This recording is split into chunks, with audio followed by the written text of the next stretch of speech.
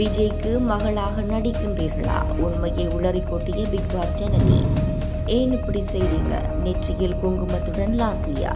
ஷாக்கான ரசிகர்கள். யாராலையும் பாட்ஷாவாக மாற முடியாது. பாட்ஷா ஒன்றுதான் குக்வித் கோமாளியில் வெங்கடேஷ் பட்டுறுதி. குக்வீத் கோமாளியிலிருந்து மணிமேகலை விலக காரணம் இதுதான். வெளியான புது தகவல். கணவரை தொடர்ந்து பிரபல இயக்குனரின் படத்திலிருந்து நீக்கப்பட்ட நயன்தாரா. அட்வான்ஸை திருப்பி வாங்கிய தயாரிப்பாளர்.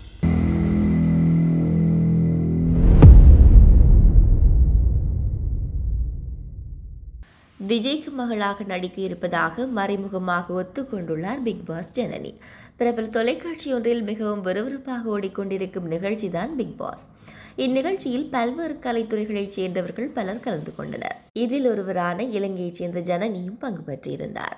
இவர் முந்தைய போட்டியாளரான லஸ்லியாவை போல தனது கொஞ்சலான பேச்சால் அனைவரது மனதிலும் இடம் பிடித்தவர்.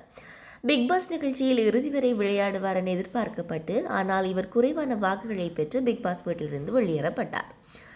பிக் பாஸ் வீட்டிலிருந்து வெளியேறிய பின்னர் அவருக்கு அடுத்தடுத்து சினிமா வாய்ப்புகள் வர ஆரம்பித்து விட்டது. அதன் அதிர்ஷ்டவசமாக மொபைல் விளம்பரத்தில் நடித்து தனது நடிப்பிற்கு ஆரம்ப புள்ளி வைத்தார். பிறகு நடிகர் விஜய்க்கு தங்கையாக நடிப்பதாக தெரிவிக்கப்பட்டிருந்தது. இந்நிலையில் லோகேஷ் கனகராஜ் இயக்கும் லியோ படத்தில் நடித்து வருகிறார். இதன்போது அண்மையில் அவர் கொடுத்த நேர்காணல் ஒன்றில் லியோ படத்தில் விஜயின் மகளா நடிக்கின்றீர்களா என கேட்ட கேள்விக்கு அதெல்லாம் கம்பெனி சீக்ரெட் என்று பதிலளித்து முடி மறைத்துள்ளார். அப்போது உண்மையை நீங்களே உங்கள் வாயால் உளறிவிட்டீர்கள் என்று கலாய்த்து தள்ளியிருக்கின்றார் நடிகாளர் விஜய் டிவியில் ஒளிபரப்பான பிக் பாஸ் நிகழ்ச்சி மூலம் தமிழ் சினிமாவில் அறிமுகமானவர் லாஸ்லியா. இவர் பிக் பாஸில் போட்டியாளராக இணைந்து கொள்வதற்கு முன்னர் இலங்கையில் உள்ள ஒரு சேனலில் செய்தி தொகுப்பாளராக பணியாற்றி இருக்கின்றார் இதன் மூலமாகவே இவருக்கு பிக் பாஸ் நிகழ்ச்சியில் கலந்து கொள்ளும் வாய்ப்பு கிடைத்தது. இந்த நிகழ்ச்சியில் மூன்றாவது இடத்தை பெற்றுக்கொண்டதோடு பல்லாயிரக்கணக்கான ரசிகர்களின் மனங்களையும் கொள்ளை கொண்டிருக்கின்றார். இந்நிலையில் பிக் பாஸ் நிகழ்ச்சிக்கு பிறகு தொடர்ந்து படங்களில் ஹீரோயினாக நடித்து வருகிறார் லாஸ்லியா.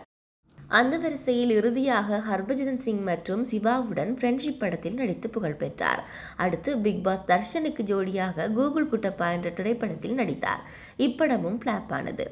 சமூக வலைதளங்களில் ஆக்டிவாக இருக்கும் இவர் அவ்வப்போது போட்டோ ஷூட் நடத்தி புகைப்படங்களை பகிர்ந்து கொள்வார். தற்போது நெற்றியில் விபூதியுடன் மங்களகரமாக குட் மார்னிங் என்று பதிவிட்டு புகைப்படங்களை பகிர்ந்துள்ளார். இந்த புகைப்படங்கள் தற்போது வைரலாகி வருகின்றது. விஜய் டிவியின் முக்கியமான நிகழ்ச்சியான குக் வித் கோமாளி தனது நான்காவது சீசனை துவங்கி நடத்தி வருகிறது. கடந்த சில வாரங்களாக விறுவிறுப்பாக நடைபெற்று வரும் இந்த சீசனின் அடுத்தடுத்த எபிசோடுகள் ரசிகர்களை வெகுவாக கவர்ந்து வருகிறது. நிகழ்ச்சியில் தொடர்ந்து பல்வேறு சுவாரஸ்யங்கள் அரங்கேறி வருகின்றது. குக்கள் கோமாளிகள் நடுவர்கள் இணைந்து நிகழ்ச்சியை சுவாரஸ்யமாக்கி வருகின்றனர். நிகழ்ச்சியில் நடுவர்கள் தாமு மற்றும் வெங்கடேஷ் பட்டும் நிகழ்ச்சியின் சிறப்பிற்கு முக்கியமான காரணங்களாக அமைந்துள்ளனர். இதேபோல நிகழ்ச்சியின் ஆங்கர் தர்ஷனும் தன்னுடைய பங்கை சிறப்பாக்கியுள்ளார். இந்த நிலையில் நிகழ்ச்சியில் அடுத்தடுத்த மாற்றங்களும் நிகழ்ச்சி ரசிகர்களை கவர காரணமாகியுள்ளது. இந்த வார குக்வித் கோமாளி சீசன் ஃபோர் நிகழ்ச்சியிலும் பல்வேறு சுவாரஸ்யங்களை காண முடிந்தது. நடிகர் புகழ் காந்தார படத்தின் லுக்கில் வந்து அனைவரையும் ஆச்சரியத்தில் ஆழ்த்தினார். இதேபோல இந்த வாரத்துடன் நிகழ்ச்சியிலிருந்து வெளியேறும் முடிவை கோமாளி மணிமேகலை எடுத்துள்ளார். இதனுடைய இந்த நிகழ்ச்சியில் நாயகிகளுக்கு இடையான கெட்டப்பில் வந்திருந்த சிவாங்கி யார் வேண்டுமானாலும் பாட்ஷாவாக மாறலாம் என்று கூறினார். இதை கேட்ட வெங்கடேஷ் பட் யாராலையும் பாட்ஷாவாக மாற முடியாது என்றும் பாட்ஷா ஒருவர்தான் என்றும் தெரிவித்தார். தொடர்ந்து தலைவரை மிகவும் பிடிக்குமா என்று கேள்வி கேட்கப்பட ரத்தம் நாடி சதை நரம்பு எல்லாமே தலைவர் தான் நிறைந்துள்ளதாகவும் அவர் குறிப்பிட்டுள்ளார். உடனடியாக நிகழ்ச்சியில் பேசிய மைம் கோபி தன்னுடைய எனர்ஜியுடன் நடிக்கும் அனைத்து ரசிகர்களுக்கும் கடத்துபவர் ரஜினிகாந்த் என்று பாராட்டு தெரிவித்தார். இதை கேட்ட வெங்கடேஷ் பட் தலைவா என்று உடனடியாக இதயத்தை பறக்கவிட்டார். தொடர்ந்து சூப்பர் ஸ்டார் யார் என்று கேட்டா என்ற பாடலை மணிமேகலை உள்ளிட்டவர்கள் பாடி நிகழ்ச்சியில் தங்கள் பங்கிற்கு ரஜினிக்கு பாராட்டு தெரிவித்தனர்.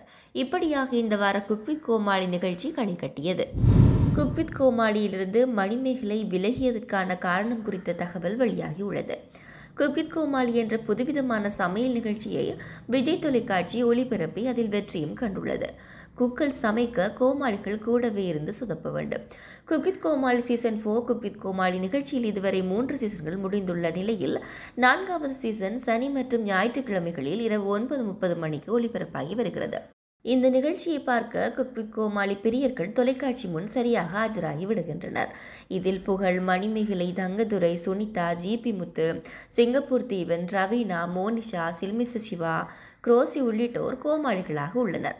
கடந்த சீசன்களில் கோமாளியாக அசத்திய பாலா தற்போது கலக்கப்போவது யார் நிகழ்ச்சியை தொகுத்து வழங்கி வருவதால் அவர் குக்வித் கோமாளி நிகழ்ச்சியில் இடம்பெறவில்லை. இதனால் ரசிகர்கள் ஏமாற்றமடைந்தனர் குக்காக நடிகை ஷெரீன் நடிகை சிருஷ்டி டாங்கே நடிகை விசித்ரா நடிகர் ராஜையப்பா விஜய் விஷால் சிவாங்கி ஜிகிர்தண்டா நடிகர் Kaalaiyan Kishore Rajkumar Andreanne Nouyrigat mime Gopi என பத்து பேர் கலந்து கொண்டனர். இதில் கிஷோர் ராஜ்குமார் முதல் நபராக வெளியேறினார். குக்வித் கோமாளி நிகழ்ச்சியிலிருந்து விலகுவதாக மணிமேகலை நேற்று தனது இன்ஸ்டாகிராம் பக்கத்தில் அறிவித்திருந்தார். அதில் குக்வித் கோமாளியில் எனது கடைசி எபிசோட் இன்று நானே வருவேன் கெட்டப்பில்.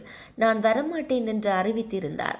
மணிமேகலையின் இந்த அறிவிப்பால் ரசிகர்கள் மிகுந்த ஏமாற்றம் அடைந்தனர். இந்நிலையில் மணிமேகலை இந்த நிகழ்ச்சியிலிருந்து வெளியேறியதற்கான காரணம் தெரிய வந்துள்ளது அதாவது மணிமேகலைக்கும் இந்த நிகழ்ச்சியின் ஏற்பாட்டாளர்களுக்கும் இடையே கடந்த சில வாரங்களாகவே மோதல் இருந்து வந்ததாகவும் இந்த மோதல் காரணமாகவே அவர் விலகியதாக இருப்பதாகவும் சொல்லப்படுகிறது. அது மட்டுமில்லாமல் மணிமேகலை கற்பமாக இருப்பதாகவும் ஒரு கருத்து பரவி வருகிறது. ஆனால் அவர் உண்மையான விலையிற்கான காரணம் இதுவரை தெரியவில்லை. தமிழ் சினிமாவில் லேடி சூப்பர் ஸ்டாராக வலம் வரும் நயன்தாராவுக்கு திருமணத்துக்கு பிறகு சினிமாவில் ஒரு ஹிட் படம் இன்னும் அமையவில்லை. இறுதியாக தன் கணவர் விக்னேஷ் சிவன் தயாரிப்பில் கனெக்ட் என்ற படத்தில் நடித்திருந்தார். இந்த படத்தில் நயன்தாராவுடன் சத்யராஜ் மற்றும் வினய் ஆகியோர் நடித்துள்ளனர். இந்த படத்தை மாயா மற்றும் கேம் ஓவர் ஆகிய படங்களை இயக்கிய அஸ்வின் சரவணன் இயக்கினார். இந்த படம் ரசிகர்கள் மத்தியில் மோசமான விமர்சனங்களை பெற்றது. இந்த நிலையில் சில ஆண்டுகளுக்கு முன்னர் குரங்கு பொம்மை படத்தை இயக்கிய நித்திலன் இயக்கத்தில் ஒரு படத்தில் நடிக்க நயன்தாரா ஒப்பந்தமானார். இந்த படத்தை அபிஷேக் பிள்ளை தயாரிக்க இருந்தார். இதற்காக அவருக்கு முன்பணமும் கொடுக்கப்பட்ட நிலையில் இந்த படத்தில் நடிக்க தேதிகள் ஒதுக்காமல் இழுத்தடித்துள்ளார் நயன்தாரா. இதனால் கடுப்பான தயாரிப்பு தரப்பு நயன்தாராவிடமிருந்து கொடுத்த அட்வான்ஸ் தொகையை திருப்பி வாங்கியுள்ளார் என்று சொல்லப்படுகிறது. இதனால் நயன்தாரா அடுத்து என்ன படத்தில் நடிக்கப் போகின்றார் என்ற எதிர்பார்ப்பில் இருப்பதாகவும் தகவல் வெளியாகியுள்ளது.